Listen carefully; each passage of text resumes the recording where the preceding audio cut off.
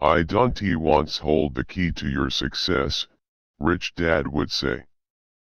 Because I, too, do not want to fix toilets, I shop hard for a property manager who does fix toilets. I remind people that financial IQ is made up of knowledge from four broad areas of expertise. 1. Accounting. Accounting is financial literacy or the ability to read numbers. This is a vital skill if you want to build an empire. The more money you are responsible for, the more accuracy is required, or the house comes tumbling down.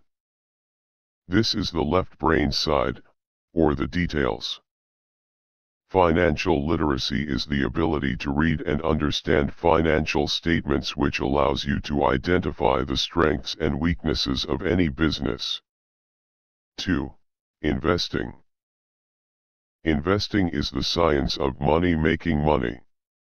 This involves strategies and formulas that use the creative right brain side.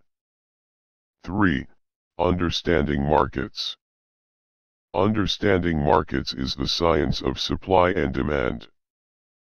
You need to know the technical aspects of the market, which are emotion driven, in addition to the fundamental or economic aspects of an investment. Does an investment make sense or does it not make sense based on current market conditions? 4 the law A corporation wrapped around the technical skills of accounting, investing, and markets can contribute to explosive growth. A person who understands the tax advantages and protections provided by a corporation can get rich so much faster than someone who is an employee or a small business sole proprietor.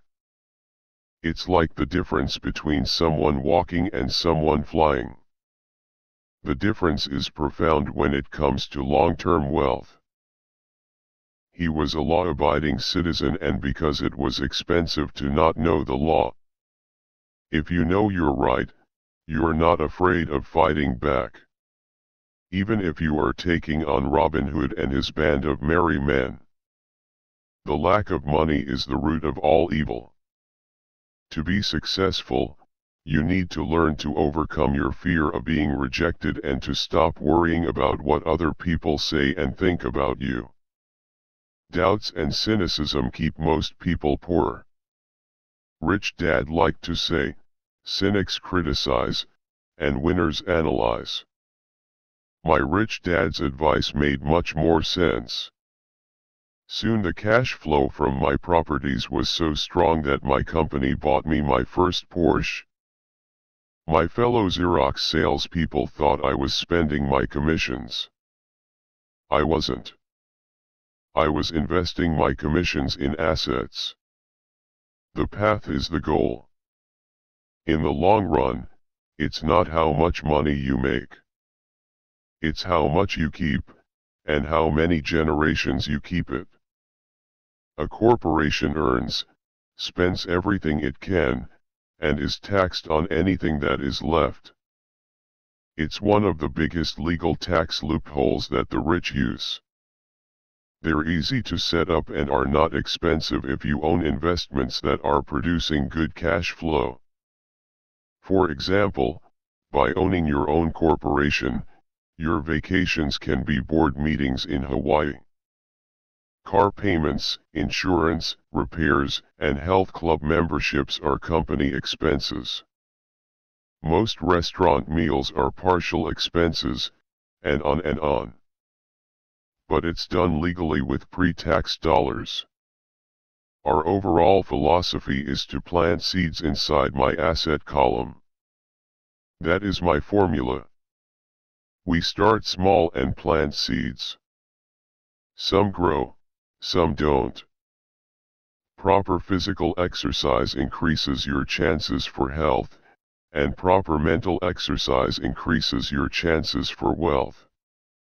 A person is to be successful in the B or I quadrant, he or she needs to be aware of market forces and any changes in the law that affect those market forces. If you take on risk and debt, make sure you get paid for it. You'd best change your point of view. Stop blaming me and thinking I'm the problem. If you think I'm the problem, then you have to change me. If you realize that you're the problem, then you can change yourself, learn something, and grow wiser. Most people want everyone else in the world to change but themselves. Let me tell you, it's easier to change yourself than everyone else. Everything we think we know about entrepreneurs is wrong. The reason so many talented people are poor is because they focus on building a better hamburger and know little to nothing about business systems.